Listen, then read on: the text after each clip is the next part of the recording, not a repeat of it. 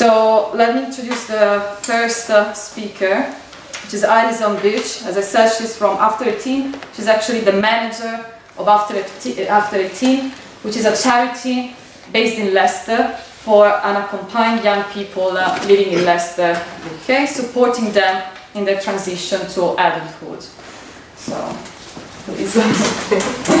Hello, um, thank you um, for giving me the opportunity to speak and speak first. So, um, um, I'm very pleased to see so many familiar faces that are well known to After 18 here. Um, but for those of you that don't know me, that I'm the manager. Um, and After 18 is a charity that supports refugees under 25 and particularly unaccompanied asylum seeking children, but we continue to support them right up to adulthood at 25. We're particularly interested in the education of young people um, and each week we see about up to 40 young people at our drop-ins. And today I just wanted to share our experience of supporting young people on their journey to higher education. After the need to be safe, getting a good ed education is the next biggest priority for young people on being in the UK. Many aspire to go to university, a lot have the ability, but comparatively few get that far. We will hear later, I'm sure, about the great work that's been done at our universities and campaigns to support refugees into higher education. However, in our experience, the barriers to higher education start not at the university gate, but go right back to when a young person arrives in the UK. Firstly, if I can just give you a bit of context about um, how our organisation evolved in relation to education. When After 18 started, almost six years ago now, um, it was just a helpline aimed at helping young people stay engaged with services when they transition to adulthood. There were a couple of referrals from colleagues, um, social services and other organisations who were working with young asylum seekers who had been offered a place at university but were unable to accept them because they were not considered home students and therefore the fees were prohibitive we, was, we supported them to apply for, um, for Article 26 um, scholarships successfully and they made their way onto university um, and one of them is now just completing his Masters. However, the word spread and we applied for and received some funding from Comic Relief to develop our education work. And in doing so, it became clear to us that going to university was one of the highest rungs on the education ladder but there were many lower rungs below it that were missing or not secure for young people to be able to climb to that position.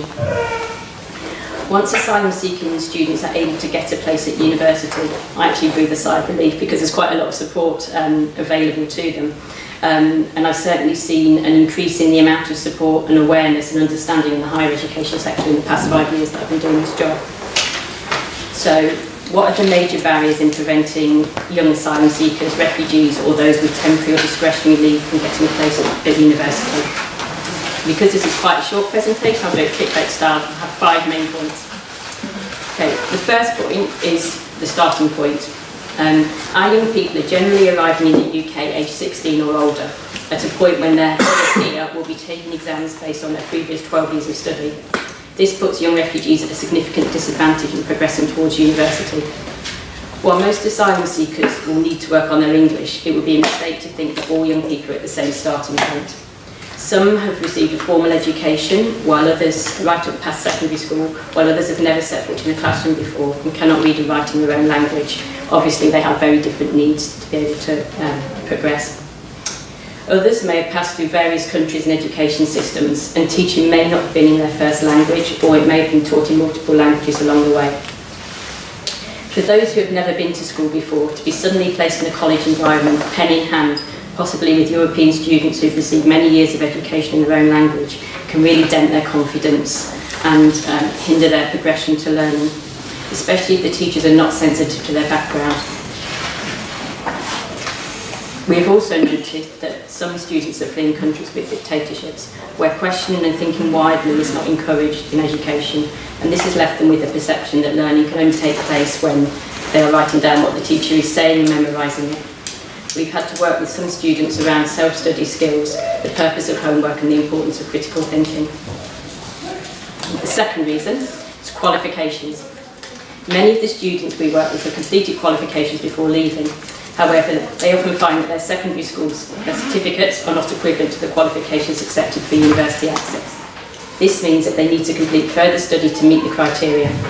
This could mean doing an A-level or equivalent for two years, although in our experience they would probably be asked to do GCSE English at least first.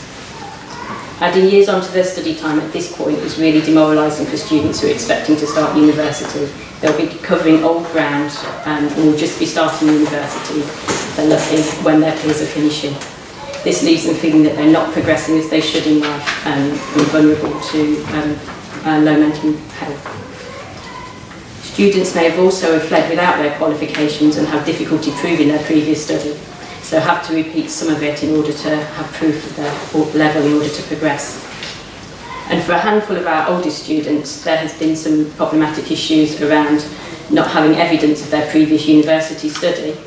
Um, to, to prove that they can get on here, but at the same time that being considered within the student finance system, so not being able to access um, student finance to get to university. And this can significantly, significantly impact their careers. The third reason is the offer. There seems to me to be an assumption, at least in Leicester, that those who are capable will have done their GCSEs at school. And so there's little need for English and Maths beyond our uh, GCSE beyond that. There's pretty much no second chance for students who miss out on a school education to acquire extra subjects. An example of this is a new arrival who needs to do physics um, to progress to A-level, which is a requirement for the course she wants to do at university, but it's not offered anywhere that we can find in Leicester post-school. We've also noted a shrinkage in the offer in Leicester, as all the FE colleges have merged into one super college, and two out of the three sixth forms have just merged.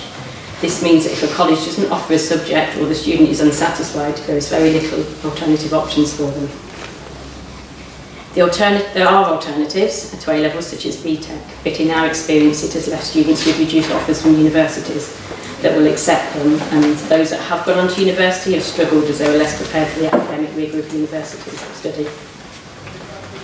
So our students are at a disadvantage in competing for places at university because they've not had the opportunity for the foundation skills and it's very difficult to catch up on those opportunities if they've missed out from school in sixth form.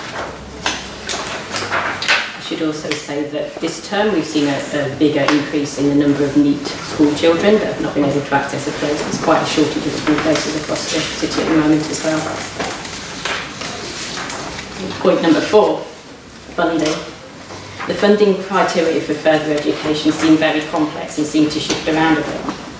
While students are under, are under 19, they can get free education, but after that it becomes much more complex depending on status and circumstances.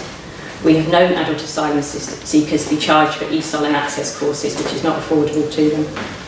For those under 21 and estranged from their families, they should be allowed to complete their education while on benefits, but those over 21 should be expected to work. And for the small number of uh, young people that we have within families, this has an impact as well. If they are working, income might be taken into consideration for charging, and if they're on job seekers, they have to be available for work, which means that they can't always concentrate on their studies. Students are very much in a race against time to get all the qualifications they need to be able to go to university before they age out. Um, final point is the hostile environment. This year we saw a change to the Immigration Act, and with the introduction of the Immigration Bill, in which some cases um, introduced a, a no-study condition for some cases of our students. This has prevented a number of them this year from doing um, the courses that they would have liked to have done, as doing so would have constituted a criminal offence. Fortunately, we managed to get this removed from all cases, um, and there has been new guidance issued in the, the hope that this will be just used as a last resort from now on. But what we have, but what this has introduced is the concept that um, education can be criminalised in this way and it is punishable with prison sentence as well. It's not impossible for young people to succeed and to go to university, and we have had young people that have gone on to be very successful, but they need a huge amount of personal tenacity to do so. Um, they need support, understanding, and most importantly, opportunities if you want to find out more about our work, then please have a look at our website. Um, and if you are, just a quick plug, if you're looking for any Christmas cards, every year we produce Christmas cards alongside the young people. And this money goes directly to support the projects that we, we do. So have a look at the table. There are leaflets in front of There are leaflets, yeah. Thank you. Thank you.